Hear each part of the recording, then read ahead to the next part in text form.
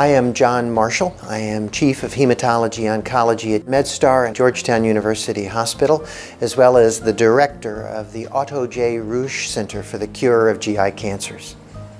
So mostly my patients are young and old and men and women, but they all have a GI cancer. So that is colorectal cancers and pancreas cancers and stomach cancers and others, some liver cancers and bile duct cancers and things called cholangiocarcinomas and neuroendocrine cancers. But it all falls into the category of GI cancer. If you actually look at it, there are more patients with GI cancer, most common, and unfortunately most fatal cancers on the planet. It's an incredible public health problem that does not get the kind of attention that it needs. And our group here at MedStar has the most experienced team of doctors to manage the GI cancers. Everyone out there says that their cancer center is comprehensive. It is a buzzword uh, that's used for small hospitals, big hospitals, and everyone alike. The definition comes from the National Cancer Institute. To be designated an NCI Comprehensive Cancer Center is the highest level that the NCI bestows. We compete, we obtain a grant, and we are one of them and have been one for a long, long time. Cancer care is a complicated thing. It's not just one doctor, it's not just one visit. It becomes your life. Cancer is a life-changing moment for almost everybody who experiences it. And all across the city, our team is concentrated in places like Georgetown Hospital, but is also going out to the community. So in essence, any door you enter into the MedStar network, you are encountering the same level of expertise, the same high quality care that you would get if you come to Lombardi's Comprehensive Cancer Center here at Georgetown. We are one and the same. You need this level of care because you need expertise not only as an oncologist, all I do is GI cancer. But you need the same in a surgeon. All they do is GI cancer surgery. Or radiation. All they do is GI cancer radiation for the team, for those patients. Same is true for breast cancer, same is true for lung cancer, same is true for prostate cancer. Separate teams, multidisciplinary teams, experts in their field for each of the different cancers. So why would you go anywhere else?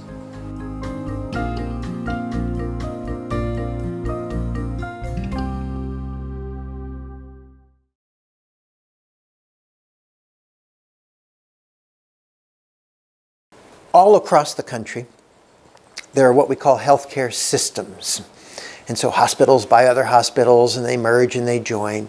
And Washington, D.C. is no different. In our region, we have joined a group called MedStar. And MedStar has just done a fabulous job of establishing practice standards throughout our community. And so the question always within a system is do you have different kinds of physicians out in certain hospitals, um, or do you have the same high quality throughout your network?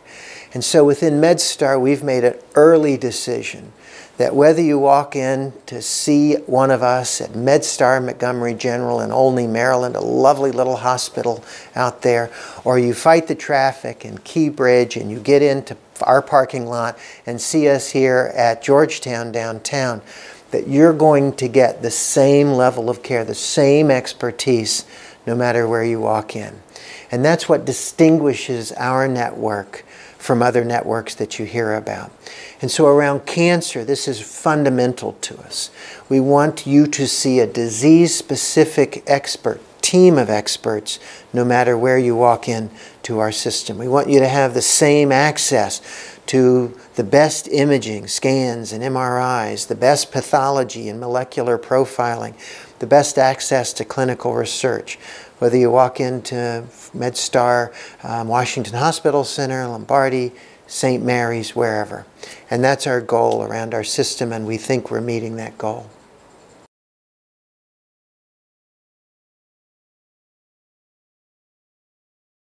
Cancer is complicated. It affects how you feel. It affects your head, your brain, how you think.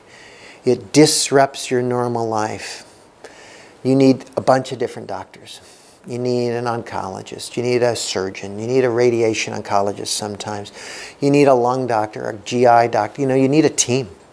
And if you had to go through the buffet and say, I'm going to see this doctor here and this doctor there and this doctor there, and they're not coordinated, they're not used to working as a team, then it's not as good. It's just the care is not as good.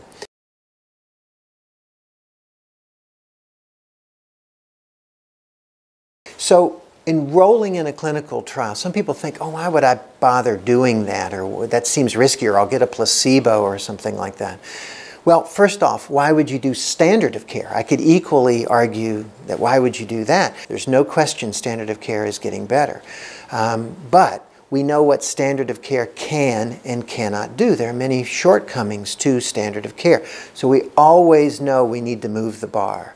And what we try to do here is offer every patient who comes here not only standard of care, but an alternative option to participate in clinical research. Yes, it's a collective effort. We help each other by doing that. But we ask no patient to participate in clinical research that wouldn't potentially benefit them right?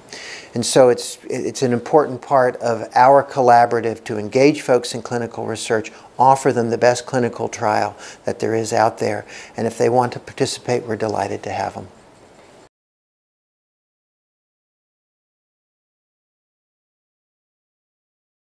So patients are often wondering when is the right time to go into a clinical trial. We often will hear things, well, am I ready for that yet?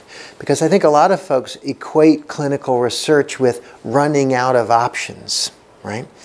But the reality is at every step of the way, there's an opportunity to improve how we do things, to make better treatments, to uncover better therapies. And so quite honestly, almost everyone is eligible for a clinical trial.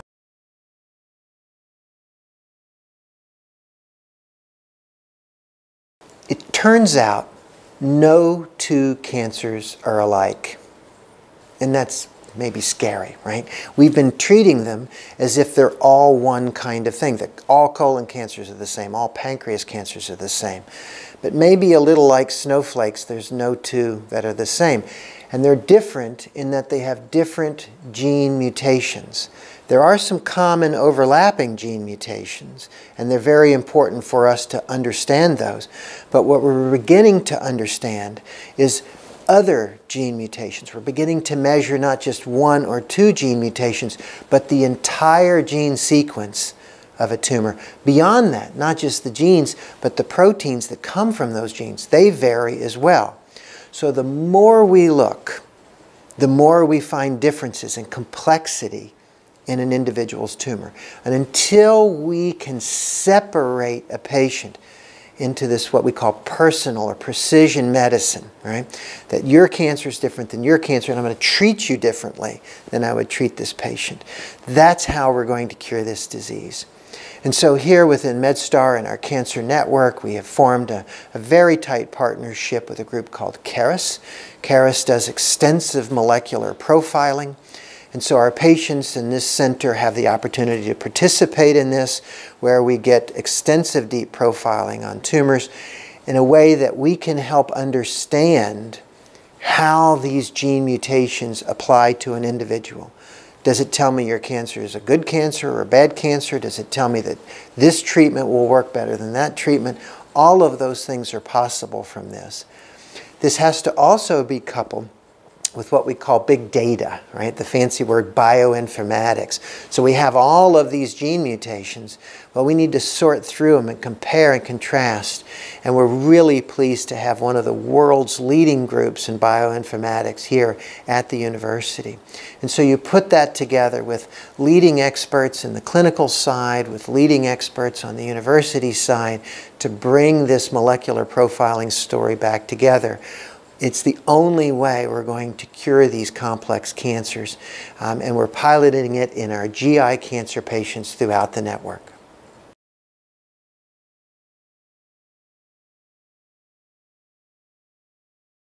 So today, almost every patient with cancer we don't just use a microscope to tell them what's going on. We don't just say, oh, that's cancer, colon cancer, breast cancer, prostate cancer. Almost every kind of cancer, we do a more personal dive to understand some of the molecular subtypes of cancer. The most famous of these are in breast cancer, where we do HER2 and ERPR. These are hormone receptors.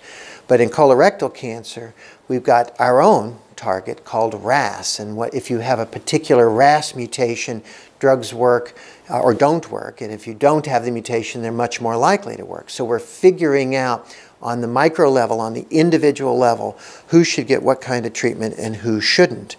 This also plays into inherited cancer syndromes. We're learning more and more about how to test a patient or a patient's tumor to understand if this is something running in the family or if this is something that just randomly popped up in that individual. And so those key elements are so important in managing any patient, and that is routine here in, within our network.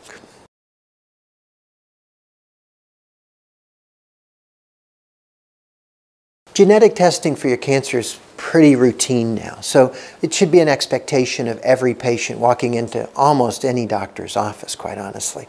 It's the extent of the genetic testing, it's the understanding the results, which I think will distinguish the docs within our system uh, from others.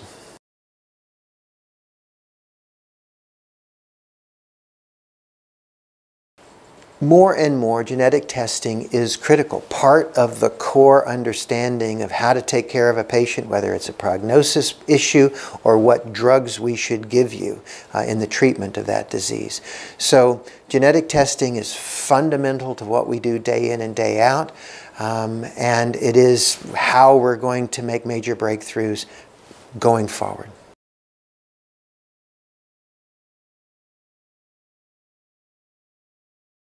Almost everyone today will have some kind of genetic testing on their cancer. There are a few exceptions where we don't know about genetic testing or it's not part of the core process, but almost everybody today will have some kind of genetic test on their tumor.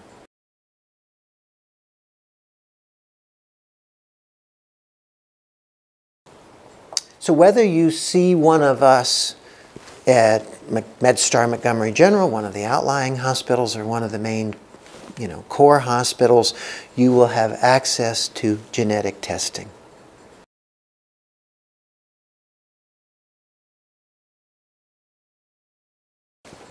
We talk about different kinds of treatments for cancer. The main one people think about is chemotherapy. But then there's this other branches around what we call targeted therapy, and there's also immunotherapy that's emerging. And frankly, I think sometimes the distinctions are a little blurry. Chemotherapy has a target, but it's a little less focused, if you will. It damages normal cells as well. Targeted therapy, at least at its beginnings, was okay, so you have a mutation in a particular cancer some accelerator in the cell is stuck on the on position. Can I shoot my medicine just at that gene, just at that protein, and clip it, and therefore not really hurt other cells. And there have been great examples of highly successful targeted therapy. A drug called Herceptin or trastuzumab in breast cancer, a drug called Gleevec for GI stromal tumors and chronic myelogenous leukemias. These cancers have genes that are broken that is the main reason why they're cancer, why the cells have behaved like a cancer. You give these medicines and it fixes it. It's fabulous, right? The problem is, is that for a lot of cancers, there's a bunch of broken genes. And yes, you can hit one target, but there are other targets that are broken. Also, some of the other targets are on normal cells. And so when you hit them, there is collateral damage. So part of the reason why we're doing more and more gene testing is to find more and more targets. It turns out it's pretty easy to target, make a drug against a target. The problem is our cancers are complex. It's not just one target causing the cancer, one pathway causing the cancer. It's multiple. So as we are going forward, we realize that yes, chemo is still going to be needed combining it with one or more targeted therapies is sort of where we're headed. And the hope is that when we find the right patient, the right target, the right mix of chemotherapy, that we have a much more dramatic impact on their cancers, as well as reducing the overall side effect for patients. Better outcome, lower side effect, that's the goal.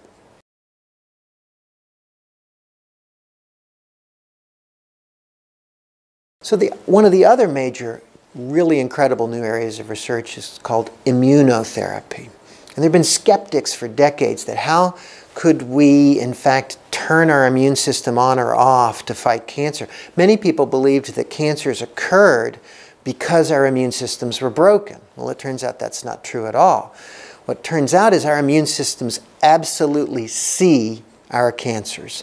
They recognize it, they make T cells against it, but the problem is that we can't rev the immune system up enough to treat a big tumor. We're better at treating small cells, fewer cells, this sort of thing.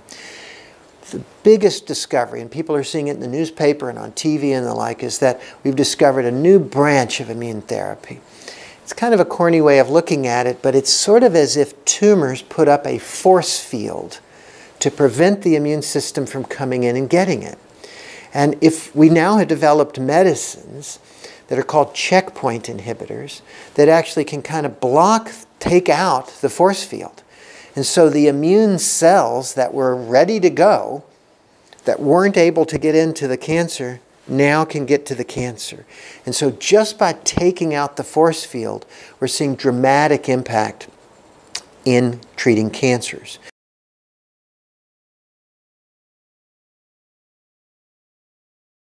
The best impact we've seen is in uh, skin cancer, melanoma. We also see positive impact in lung cancers and kidney cancers.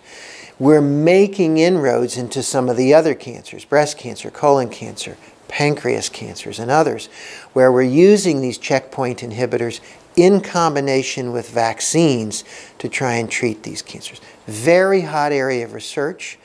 Um, maybe that this decade will be the decade of immune therapy for cancer.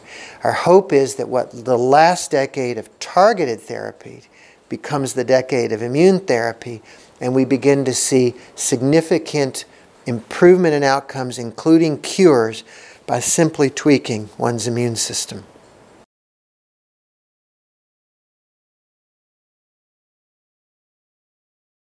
So Chemotherapy are drugs which generally target cell division. So in order for a cancer to grow, one cell has to split into two. That's how it works if you flash back to your biology class. And in order to do that, you have to have a new set of DNA and all sorts of things that have to be made to make the new cell. Well, chemo undermines that process. Um, it can mess with the DNA, it can mess with the stuff that has to move around in cells, but it hits dividing cells. And of course, cancers are rapidly dividing for the most part, so that's how chemo works. But of course, there's normal cells that are dividing. My hair, my bone marrow, my lining of my GI tract constantly dividing as well. So the side effects of chemotherapy hit normal cells that also depend on division. And so that's the difference. But we cannot really undermine the importance of chemotherapy. Let's face it, chemotherapy cures a lot of people. It cures testicular cancers. It cures kids with cancers. It adds to the cure rate after surgery in colon cancer and lung cancer and breast cancer and the like. So it's an important treatment that's out there. And while we are all a glitter about immunotherapy and targeted therapy, we're not going to get rid of chemotherapy. We're better at chemotherapy. Our side effects are better. We understand better how to manage the nausea, the fatigue, and the, all the pieces that come with that. But it still has collateral damage. Part of what we're also recognizing is that we're curing more people. And so the impact of that chemotherapy or whatever treatment it was downstream matters more and more. So we're being less heavy handed with our chemotherapy. We're not using as much chemo. We're not trying to be aggressive. We're trying to be effective. And so we're using less. We're you know, and so we're reducing the long-term consequences that patients have from their treatment. Use the treatment, stop it, manage the side effects. That's where we are today.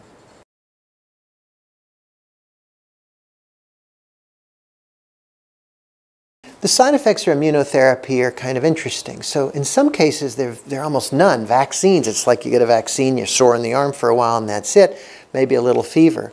But on the other hand, sometimes if you release the brakes on the immune system, then all of a sudden you develop autoimmunity, right? So your immune system is turning on normal things as well, like your skin, so you can get what's called vitiligo, you can get rashes, you can get diarrhea.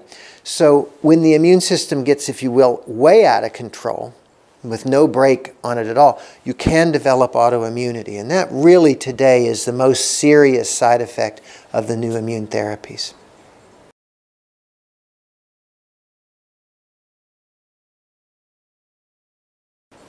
Every cancer has a stage. And generally it's one to four, although some cancers have some quirks around different staging systems.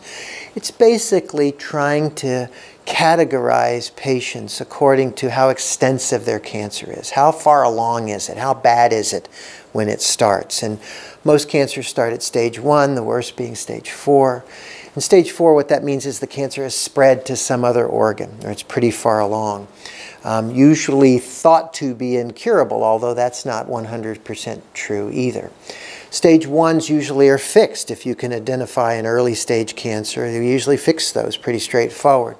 Stage twos and threes for most cancers are ones where, yes, you need some surgery, you might need some radiation, but you also might need some chemotherapy in order to cure, and so often fall into the most controversial groups of how to manage and the like. So every patient should know their stage.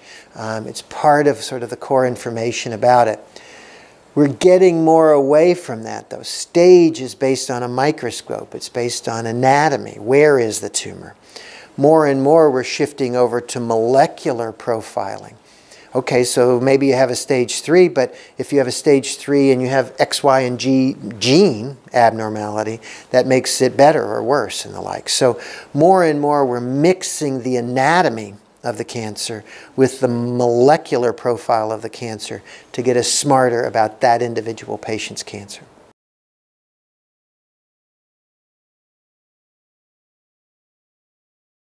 GI cancers are terrible. They're common.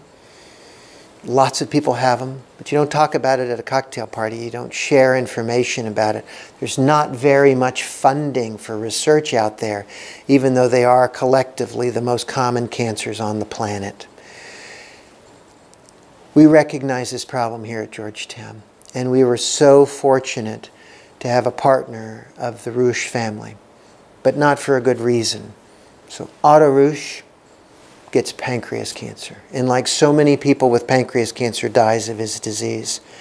His wife and his family, who have been long-term partners with us here at Georgetown and at MedStar, said, we have to change this.